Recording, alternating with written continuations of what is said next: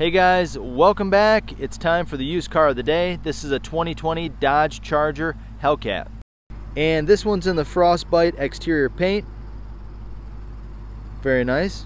And then on the inside, we've got an all black interior with red seat belts. Let's take a look. Wow, looks really sharp.